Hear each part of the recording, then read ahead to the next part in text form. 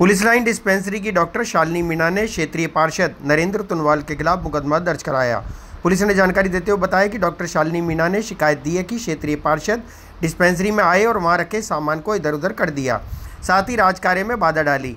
उन्होंने बताया कि उस समय मरीजों को भी वहाँ से भगा दिया गया। इस संबंध में पुलिस ने मुकदमा दर्ज कर जाँच शुरू कर दी है। दो तारीख को पुलिस लाइन डिस्पेंसरी की डॉक्टर शालिनी मीणा ने एक मुकदमा दर्ज करवाया। कि वार्ड पार्षद नरेंद्र तुनवाल ने एक तारीख को आकर अस्पताल में हंगामा किया। वह हमारे को कार्य करने से रोका मरीजों को भगा दिया जिसका मुकदमा दर्ज हुआ है उसकी जाँच जारी है। राजकारी में बाधा का मुकदमा दर्ज किया है अभी उसकी जाँच जारी है। किन धाराओं में मुकदमा दर्ज हुआ तीन सौ तिरपन धारा तीन सौ तिरपन आई में मुकदमा दर्ज कर जाँच जारी है। डिस्पेंसरी की मैडम ने कराया। पुलिस लाइन डिस्पेंसरी की डॉक्टर शालिनी मीणा ने मुकदमा दर्ज कराया। मतलब बात क्या हुई? थी उसका कहना है कि वार्ड पार्षद नरेंद्र तुनवाल आया और हमारे को वहाँ मरीजों को इधर उधर कर दिया और हमारे को धमकाया कि आप लोग इलाज सही नहीं करते हो। ठीक आपका आपका नाम? Krishna Kumar Yadav A S I थाना civil line.